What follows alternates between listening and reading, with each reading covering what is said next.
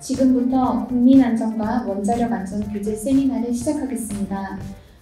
어, 오늘 세미나는 어, 국민안전과 원자력 안전 규제에 대한 새로운 아이디어와 인식을 공유하고 국민 신뢰 제고 방안을 모색하는 데 중요한 디딤돌이 되어 어, 미래로 나아가는 발걸음이 되기를 기대합니다.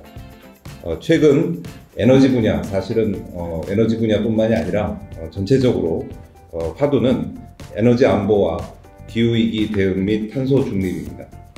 이 방사능 관련된 어떤 그런 그 특징이 비가시적이고 또이 아주 그 전문성 이 전문가들만 알 수 있는 그런 그 특징이기 때문에 어, 어떤 괴담이 개입할 수가 있고 불확실성이 높기 때문에 어, 이게 정치적인 요소가 개입할 수밖에 없는 그런 구조가 됩니다. 같은 지향점을 가지고 정말 다양한 분야에서 어, 다양한 전문가분들이 모이셨다는 생각이 들고요. 어, 그런 만큼 또 많은 기대도 또 하게 됩니다.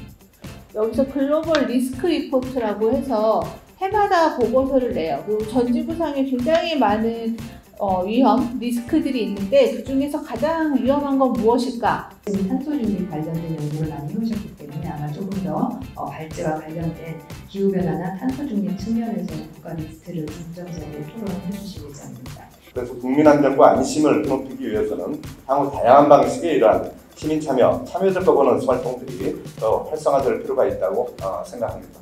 가장 중요한 거는 원자력 발전을 비롯해서 다양한 에너지원에 대해서 오해와 불안 해소를 위해 사업자의 그 원자력 시설이나 다른 재생에너지 시설들 그런 운영 자료와 규제 기관의 검사, 심사 경, 결과들이 능동적으로 좀 공개가 되면 어떨까 하는 생각을 좀 해봤고요.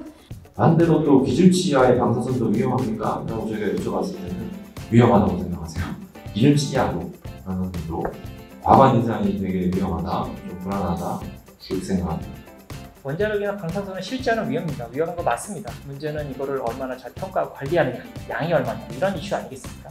있다는 것 자체로 어, 원자력 산업을 하지 말아야 된다는 거는 이득 득실을 좀 따져봤을 때 그렇게는 조금 어, 어렵지 않겠냐라는 생각입니다.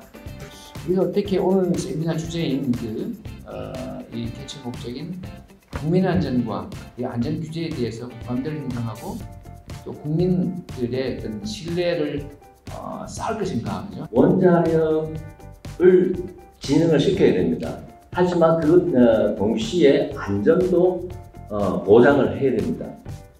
안전관리 업무에서 주관이 누구냐 이것도 쟁점이 될 수 있고 안전관리와 재난관리를 구분하는 그 시점 그러니까 재난이 발생했을 때 그 시점에 총괄과 조정 이건 누가 할 거냐 이렇게 신기술이 들어오고 전 세계적으로 이게 뻗쳐나가고 경쟁이 되고 있을 때 규제가 이것을 막는 것이 아니라 우리도 규제를 현대화하고 글로벌화해서 우리가 또 이 안전한 신기술을 시장에 확대하는 그런 원자력은 국력, 차세대 동력으로도 활용하길 원합니다.